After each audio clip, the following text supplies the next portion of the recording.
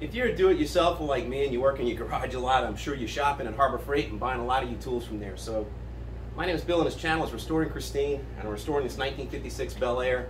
I'm in the middle of doing body work right now, putting down a lot of a lot of body filler and sanding it down, and I picked up a Harbor Freight Baxter brand air file.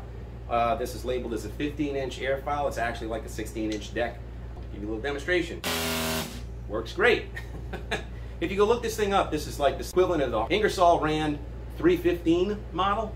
So when you look at it, it has all the same uh, shape, uh, grooves, it's got the same parts.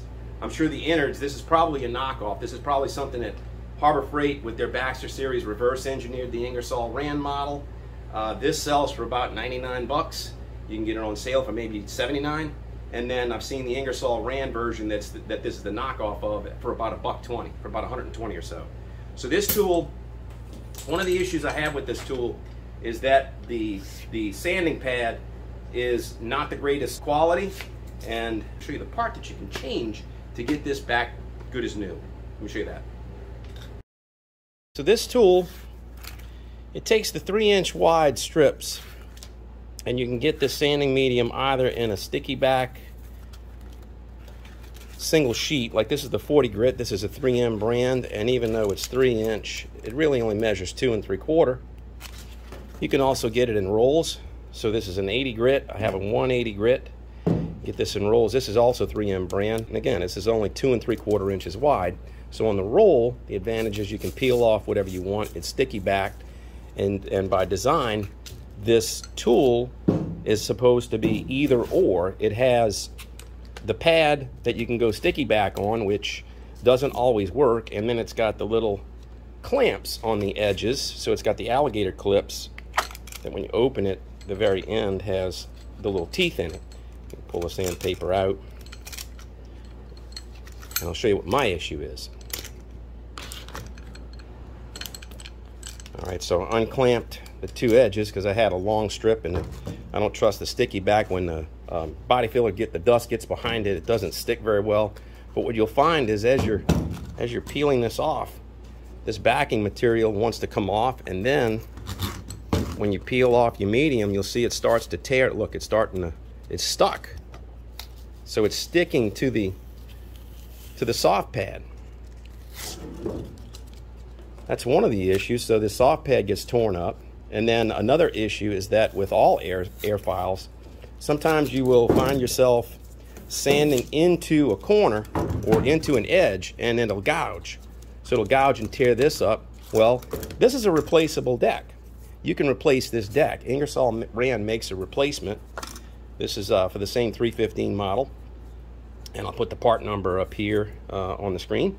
But this part number, this is available for about 30 to $35 um, you know, when you look at it, it's about if you can find if you can find this on sale, this is about half the cost. But if you just want to renew it, finding glue and finding a pad and everything, it's a lot of labor. So for like 35 bucks, you can renew this, and I'm gonna show you. It's just it's just two bolt heads, two screws. Let's get her done. Front one's a little easier to get to. It's a little protective cover. I don't think the Ingersoll Rand has this protective cover. I don't know why.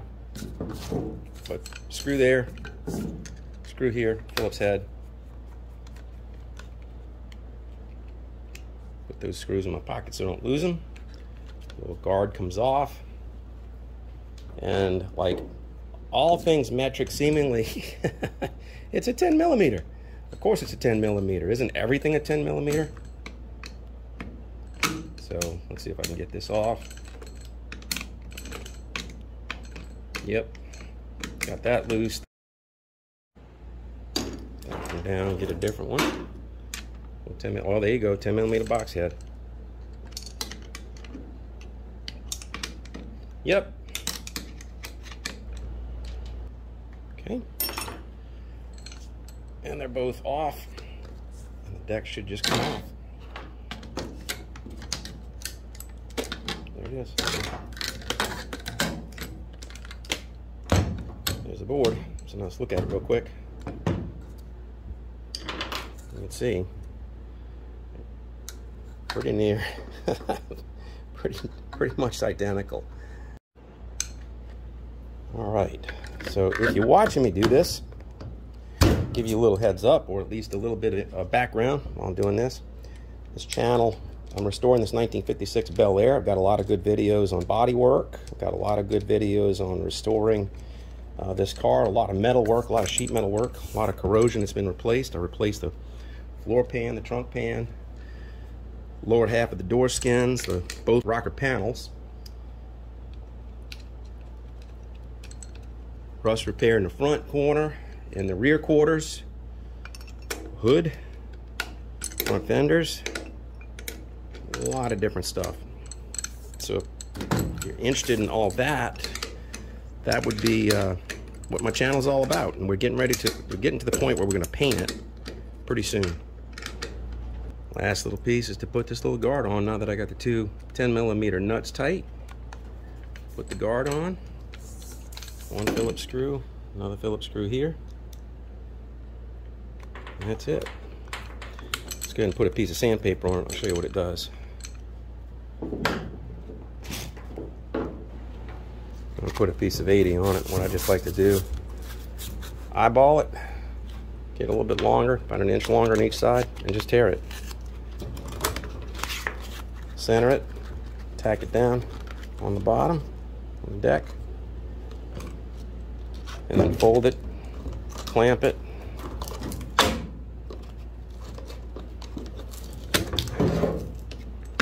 and that's it. Ready to work. Let's check it out.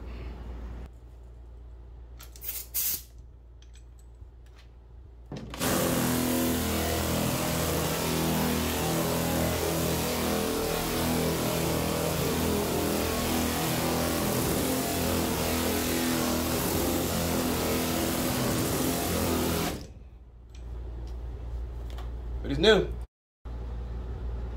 All right, so there you have it. The Baxter Air file. Replace the deck. There's the old one. Missing, missing foam padding, and the foam padding's coming apart. Now I got a brand new one. Go back, put another thousand miles in this thing. So that's gonna do it for this episode. Hope it was helpful.